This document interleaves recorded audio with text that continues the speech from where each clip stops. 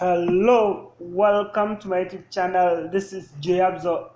Today I'm going to be teaching you, we are going to deal with this in Python that is use a list comprehension to generate the square of numbers from 1 to 100 or to any point, any number at all that you are given.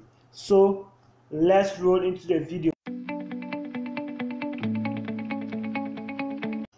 If you are new here, kindly hit on the subscribe button to subscribe. It's free of charge.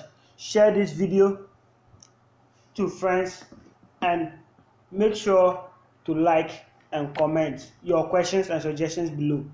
So what is list comprehension is just a simple concept. So to do this, I'll just you just create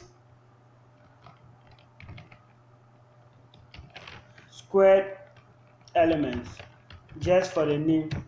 So squared elements is so list comprehension is when you are dealing with the solution inside the list. That's my definition. So x times x for x in range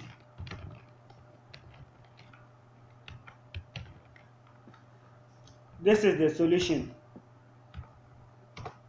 and you are ready to go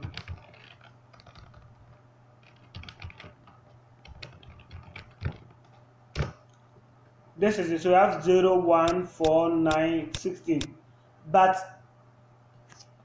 the explain this whole code this is how it works. It works like using the for loop. So what we are telling another way you could have done it is this way. X. And when you print you have the same solution. And the explanation to this code is that what we are telling it is for x inside this range it should do this operation.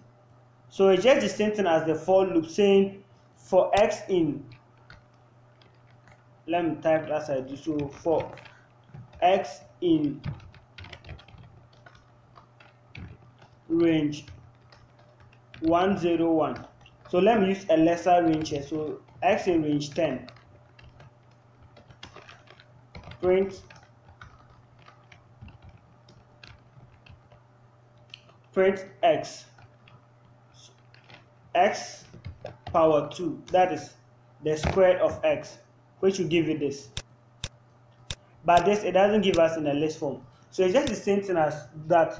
So for x in this range this operation should be done with what? X.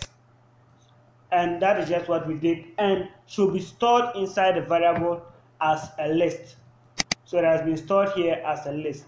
So that's simply using list comprehension to deal with that. So squared elements is equal to this. This is the solution but the explanation is what i just did. So hit on the subscribe button to subscribe share this video and if you have question or any suggestion of future videos or any solution any question that you have that you are having problem with it you can send it to me on any of my social media handles at joyabzo and I'll gladly answer you. And also, you can leave your questions and suggestions also below in the comment section. Like and share this video as well to help the channel grow. Till then, till I see you in my next video, is bye.